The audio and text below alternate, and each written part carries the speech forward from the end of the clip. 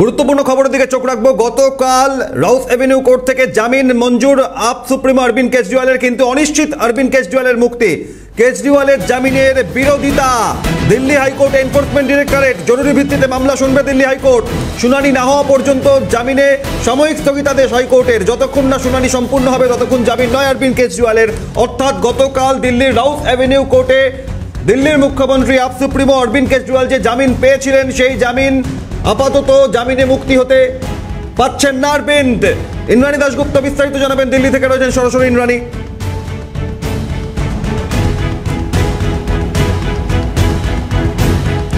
দেখো, আজকে দিল্লি হাইকোর্টের দ্বারস্থ হয়েছে ইডি এবং তারা পরিষ্কার জানিয়েছে, গতকাল রাউজ এভিনিউ কোর্টে কিন্তু তাদের বক্তব্য শোনা হয়নি। একতরফাভাবে সিদ্ধান্ত নেওয়া হয়েছে এবং তার ফলেই দিল্লির মুখ্যমন্ত্রী অরবিন্দ কেজরিওয়াল, যিনি আবগারি দুর্নীতি মামলাতে অভিযুক্ত, একশো কোটি টাকার এই আবগারি দুর্নীতি মামলা সেই মামলাতে তা তিনি জামিন পেয়েছেন। আজকে দিল্লি হাইকোর্টের দ্বারস্থ হয়েছে ইডি।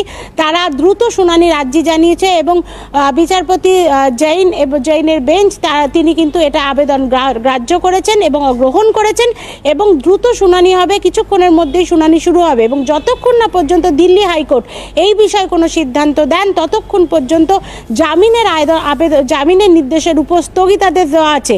অর্থাৎ যতক্ষণ না পর্যন্ত দিল্লি হাইকোর্ট অরবিন্দ কেজরিওয়ালের জামিনের ক্ষেত্রে কোনো সিদ্ধান্ত না নেয়, ততক্ষণ পর্যন্ত জামিন পাবেন না অরবিন্দ কেজরিওয়াল। দিল্লি হাইকোর্টের পক্ষ থেকে বিচারপতিরা আজ পরিষ্কার এই বিষয়টা জানিয়ে দিয়েছে। কিছুক্ষণের মধ্যেই তারা ফাইল চেয়ে পাঠিয়েছে এবং অরবিন্দ কেজরিওয়ালের পক্ষ থেকে আইনজীবী অভিষেক মনু সিংভি তিনি বলেছেন যে ইডি সাত ঘণ্টা এই বিষয়ে ব্রিফিং করেছে রাউস এভিনিউ কোর্টে। তা সত্ত্বেও কেন তাদের মনে হচ্ছে যে এখন তাদের ব্রিফিং সম্পূর্ণ হয়নি বা রাউস এভিনিউ কোর্ট তাদের কথা শোনেনি। তাদের যেটা আরও বক্তব্য যে যে তিনজন সাক্ষীর বয়ানের উপরে অরবিন্দ কেজরিওয়ালকে অ্যারেস্ট করা হয়েছিল, তাদের সাথে বিজেপির ঘনিষ্ঠ যোগাযোগ পাওয়া গিয়েছে। সুতরাং অরবিন্দ কেজরিওয়ালের বিরুদ্ধে রাজনৈতিক প্রতিহিংসা চরিতার্থ করা হয়েছে এবং সেই জন্যই তাকে গ্রেপ্তার করা হলো।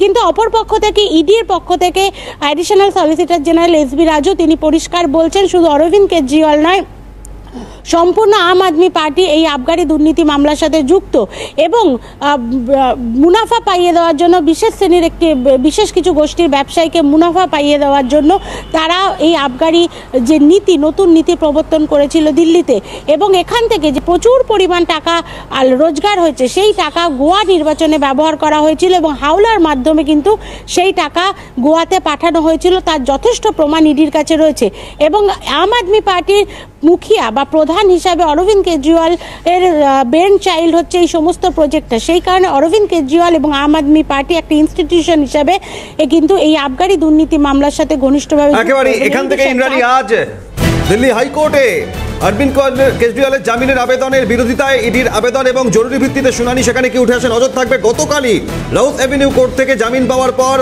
উচ্ছ্বাস উন্মাদনা দেখা গিয়েছিল আপ কর্মী সমর্থকদের মধ্যে। তারা অকাল দিওয়ালি পালন করছিলেন, কিন্তু রাতারাতি পরিস্থিতি বদলে গেল অরবিন্দ কেজরিওয়ালের জামিনের। বিরোধিতা করে দিল্লি হাইকোর্টে এনফোর্সমেন্ট ডিরেক্টরেট জরুরি ভিত্তিতে শুনানি হবে।